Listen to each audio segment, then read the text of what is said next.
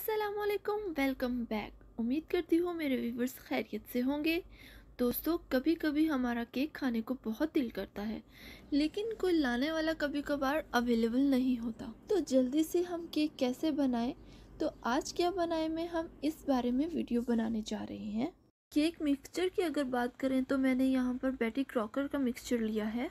इसमें वो तमाम इंग्रेडिएंट्स ऐड होते हैं जो हमें केक के लिए दरकार होंगे। जल्दी से केक बनाने के लिए ये मिक्सचर हमारे लिए बहुत बेस्ट है।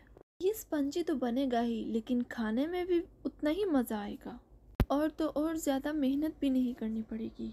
तो चले आए स्वीट सी वीडियो स्टार्ट करते हैं। सबसे पहले हम 80 एम ऑयल ऐड करेंगे। टू एग्स ऐड करेंगे। पानी हम यूज़ करेंगे 275 ml जो कि एक ग्लास और क्वार्टर क्वांटिटी का हो जाता है। बाकी कंसिस्टेंसी के मुताबिक आप पानी कम या ज़्यादा इस्तेमाल कर सकते हैं।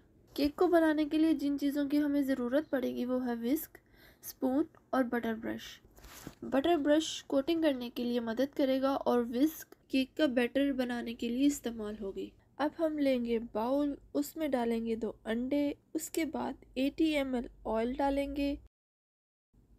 और फिर थोड़ा सा पानी। इस मिक्सचर को करेंगे हम अच्छे से मिक्स अब केक के पाउडर को हम दो हिस्सों में तकसीम करेंगे।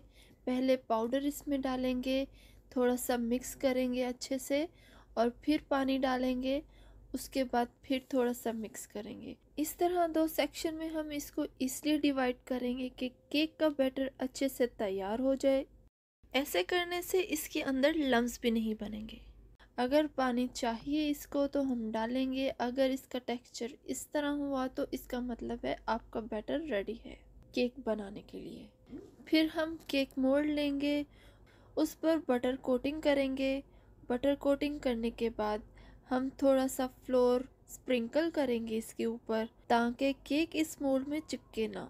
वैसे तो मेरा केक मोल्ड नॉन स्टिक है, आप किसी भी शेप का ले सकते हैं।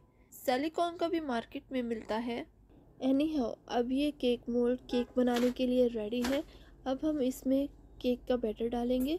वाह देखिए टेक्सचर की अब कितनी अच्छी लेयर्स बन रही हैं। चलें केक के बैटर को अब डालने के बाद हम इसको अच्छे से टैप करेंगे। अच्छे से इसलिए हम टैप करेंगे क्योंकि इसके अंदर जो बबल्स हैं, वो ख़त्म हो जाए। अगर ये बबल्स रहेंगे तो आपका केक अच्छा नहीं बनेगा। और साथ ही साथ ये फ्लैट भी नहीं होगा, ऊपर से फूल जाएगा। तो मेरे पास माइक्रोवेव अवन है तो मैं अपना केक का जो बैटर है, वो माइक्रोवेव अवन में बेक करूँगी। इसका टाइमिंग जो होगा ट्वेल्व से थर्टीन मैंने सेट किया है, क्योंकि मैं अक्सर अवकात इसी में ही बेक करती हूँ। इसलिए मुझे अच्छा एक्सपीरियंस है।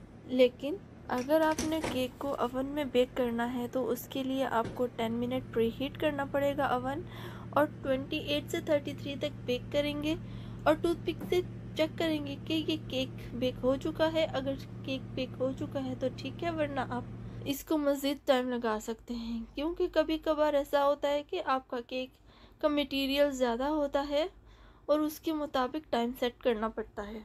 बट अगर आपके पास ओवन भी नहीं है और माइक्रोवेव भी नहीं है और आप गैस बर्नर पर बनाना चाहते हैं केक, उसके लिए आप एक बड़ा सा बर्तन लेंगे उसको आप टेन मिनट के लिए प्री हीट करेंगे, फिर उसके अंदर एलुमिनियम या फिर स्टील का बर्तन रखेंगे और उसके ऊपर ये केक रख देंगे।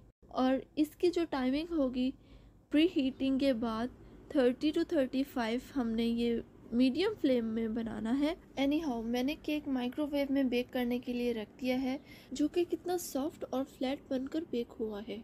अब हम इस केक को ठंडा होने के लिए रख देंगे। ठंडा होने के बाद इस केक को नाइफ़ की मदद से केक के किनारों को अलहदा करेंगे ताकि स्मूथली ये बाहर आ सके। अब केक के ऊपर आप शुगर सिरप लगा लें।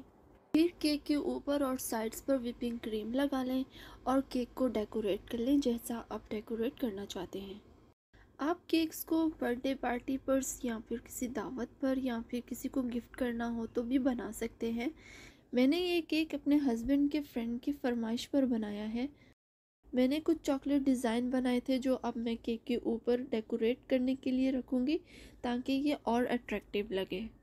ये दिखने में जितना खूबसूरत लग रहा है, उतना खाने में भी बहुत टेस्टी लगेगा। जो मेरी फ्रेंड्स फ्लोर बेकिंग पाउडर और बेकिंग सोडा की क्वांटिटी से घबराती हैं तो उनके लिए ये केक मिक्स बहुत काम आने वाला है। आई होप आपको मेरी ये वीडियो बहुत अच्छी लगी होगी। आप भी फटाफट और झटपट बनने वाला केक रेसिपी इस्तेमाल कीजिए और मुझे कमेंट में बताइए। तो इसी के साथ इजाज़त चाहूँगी।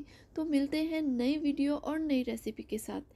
Till then take care and अल्लाह हाफिज़ और हाँ please don't forget to subscribe my channel